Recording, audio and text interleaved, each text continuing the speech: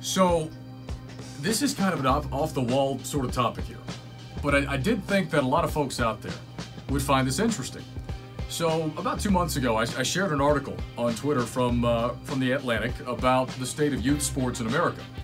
And then last night, uh, as my wife and I were just kind of relaxing and, and catching up and, and recovering from all the travel, we turned on the last couple of episodes of HBO Real Sports. And the most recent one is the year in review where they go back and kind of touch on and recap and update all the stories they've done throughout the year. But the one prior to that, in the month of November, focused on this decline, if you want to call it, in youth sports in America. And, and it's, it was so startling to me. I was talking to Hitman about this before the show today. And I've been talking to a couple of people about it recently. A lot of you out there are dads and moms with kids, you know, who are playing baseball and basketball and football and soccer. And a lot of you out there are travel team parents. Your kids playing AAU, you know, travel soccer, whatever it is. And, and I didn't realize just how two-tracked this thing had become. And really, two-tracked is the wrong way to put it. I didn't realize how dire the situation had become. When I grew up, and when a lot of you grew up, it was, what, 20, 30 bucks to play in your local rec league baseball, or your, your rec baseball league, your, your rec football league, sandlot football, uh, basketball, whatever the case may be. Most of your friends played, your buddies played in the rec leagues. You know, I, I played AAU basketball, but it was almost kind of a supplement in a way to all the rec leagues that we played in. And now it's the exact opposite.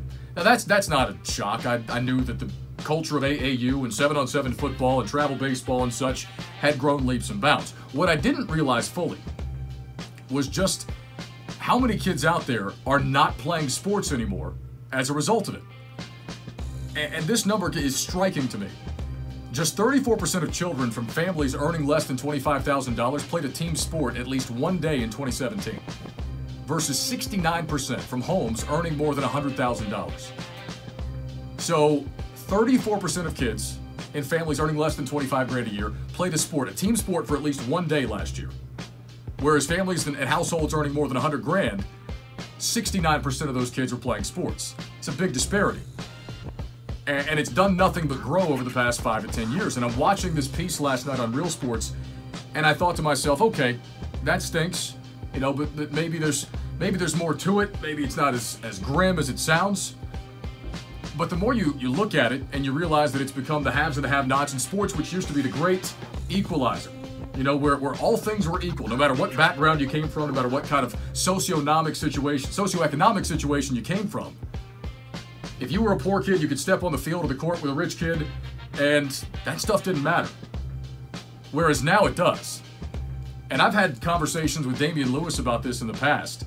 You know, Damian is a sports dad who wants to make sure that his kids have all the opportunities in the world, and you know he's doing right by his kids. And I love D-League. But we've had this conversation in the past where it's becoming exclusive, and rec leagues all over the country are dying. And it's actually becoming kind of a public health threat crisis because these kids who can't afford to play sports, travel sports, which have dominated the scene now and again are killing rec leagues, a lot of these kids have nowhere else to turn. There's no no other option. They're going home and playing video games and eating junk food, and it's one of the actual leading causes of, of obesity in the country among young kids now. And it's become a public health crisis. And I did not realize that it had become that bad. And I'm sure there are parents out there maybe kind of nodding their heads saying, yeah, you've been through this. I don't, I don't have kids yet. And, and it, I wasn't aware of just how bad that it had gotten. But if you haven't seen that piece, check it out. And I'll tweet the article out again at Kyle Bailey WFNZ on Twitter if you want to give it a read. It's, it's a fascinating change in the sports culture in America. That's Snap Judgment here on a Friday.